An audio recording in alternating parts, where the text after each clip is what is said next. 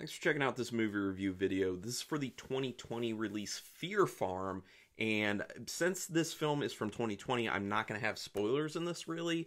Uh, so, you know, you can check it out yourself. Uh, either check out this video after you've seen it, check out this video before you've seen it, and either way, it should, you know, give you some idea of how I felt about the film and break down a few things that mainly I had issues with. Uh, I do need to say up front, I wasn't a big fan of this film at all, but that needs to come with a disclaimer. And the disclaimer basically is I have a lot of respect for filmmakers in general, for every filmmaker pretty much, except Glenn Danzig.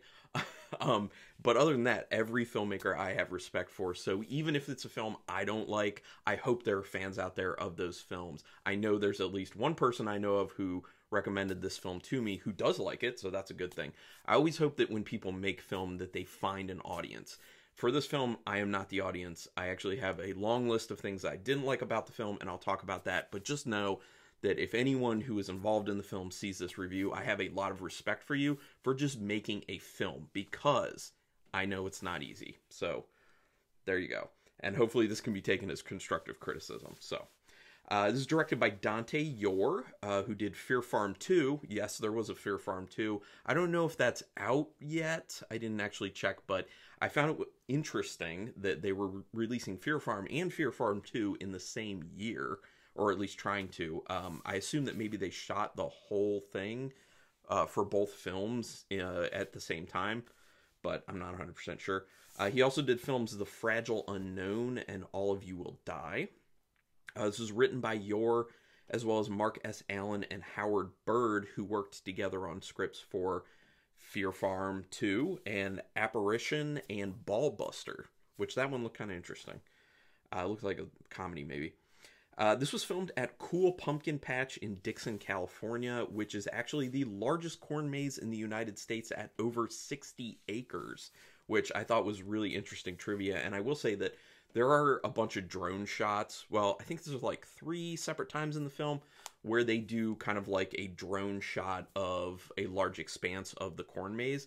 And it is impressive. It's very, very cool. And I will say, one of the things I liked about this film is the location. The corn maze location is a great idea. This specific corn maze, especially when you see the drone footage, is very impressive, very interesting looking. So I like that aspect of it. So, location idea, good. Uh, I'm down with that so quick synopsis of it. Uh, basically, bunch of uh, young kids, probably in their 20s, is what it seems like, uh, go to a haunted corn maze, and things aren't good. I mean, that's basically all I want to say because I don't want to. I don't want to give too much of the film away because there is a twist in the end. Like there is an actual twist to the film, and I'll talk about my thoughts on the twist without telling you what the twist is. Um, but I'll go over earlier stuff in the film first. Uh, it does have a good opening scene that really is a good attention grabber, which a lot of good films do have that. So I was very happy initially with that kind of attention grabbing scene, and the music with it was good. And this kind of gets to one of the things where the music is kind of very Jekyll and Hyde in this film, where I feel like when it's the parts that are supposed to be more scary, more tense, the music's good and it matches, and I like that music.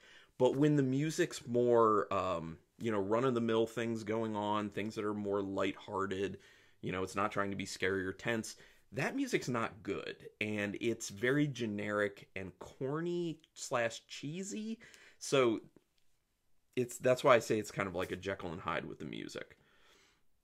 I like the way they handle texting in the film. Early on, there's texting. There's not a ton of it in the film, but uh, the way they handle texting is good because there are plenty of films I've seen where the way they handle texting is they just show you just the screen and just seeing, you know, the text going back and forth. What they did in this, which I think is the best way to do it in film, is you show the person texting and you're kind of looking over their shoulder so you're seeing the screen and them, you know, actually acting in the scene and then they're kind of having like a pop out of the text messages as they're going back and forth next to the phone. I think that's the best way visually to do it. And also, it's interesting because then you can actually see the actor interacting in the the scene. So, I like how they handled that.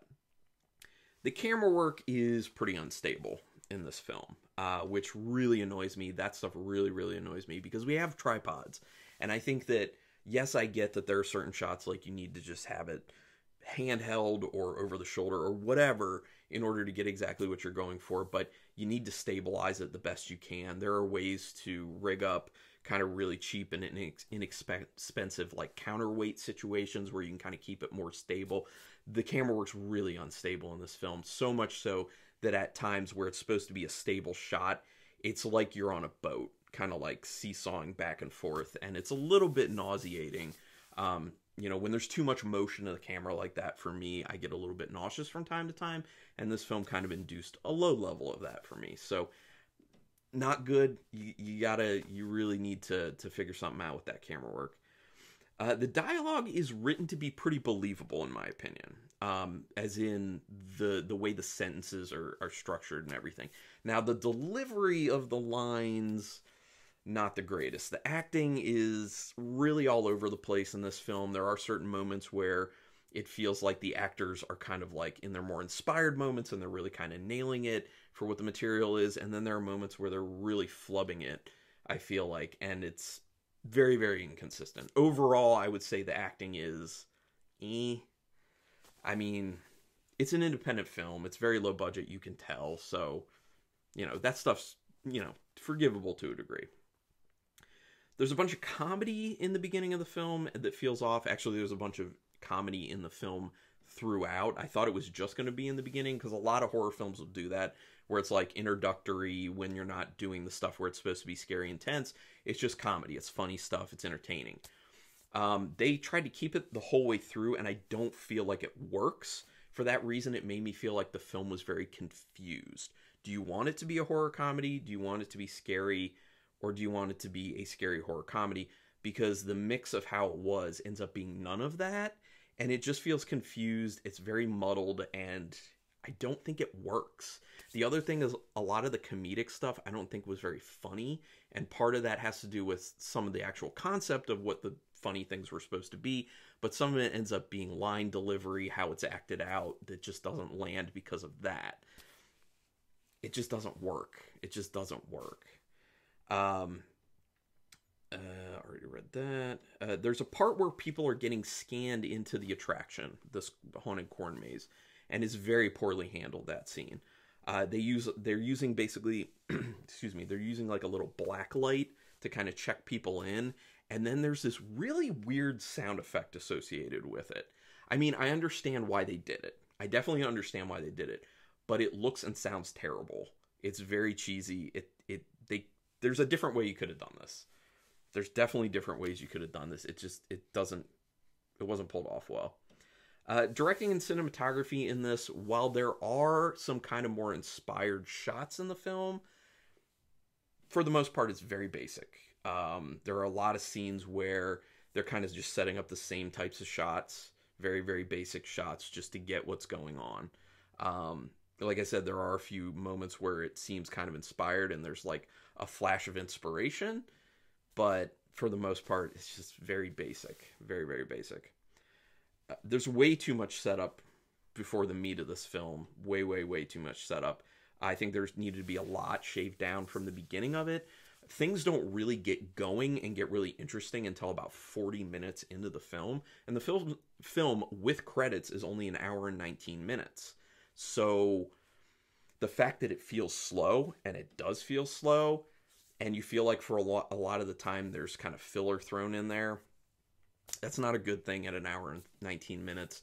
Uh, it really should be cut down. Now if there's anything that a film like host has taught us then that is we don't even have to get near an hour and a half. You can just give us an hour film or give us under an hour film call it a feature film and that's what it is. You know don't just throw in extra stuff just throw in extra stuff now, with this, I think a lot of the extra stuff in this film was because it was supposed to be this comedy aspect to it. But like I said, it didn't really end up working, at least for me, uh, me personally. So, just saying. But like I said, you know, hopefully there are a lot of people who liked it. You know, uh, characters are not likable in this. The characters are very one dimensional. There's really not much of any development whatsoever and therefore you don't feel endeared to the characters, so you don't really care when the stakes get high, you don't care when it's scary, you don't care when it's supposed to be tense, you don't care about any of that.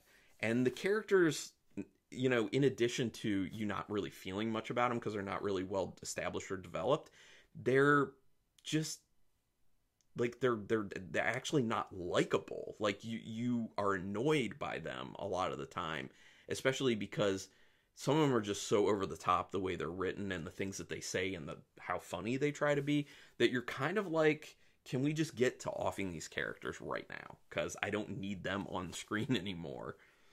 So yeah.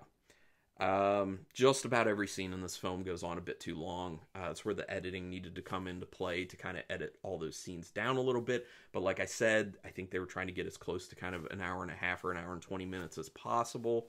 So that becomes a problem. Uh, it just feels like every scene is just too long. There's some good looking drone footage of the corn maze. I already talked about that. Looks impressive. I did like that it doesn't oh, i already talked about that one. It do, that it doesn't really get good until 40 minutes in. And even then it still feels confused like i was saying with the comedy versus scary and you know what is it here? The action sequences are very clumsily choreographed and executed. That's another thing.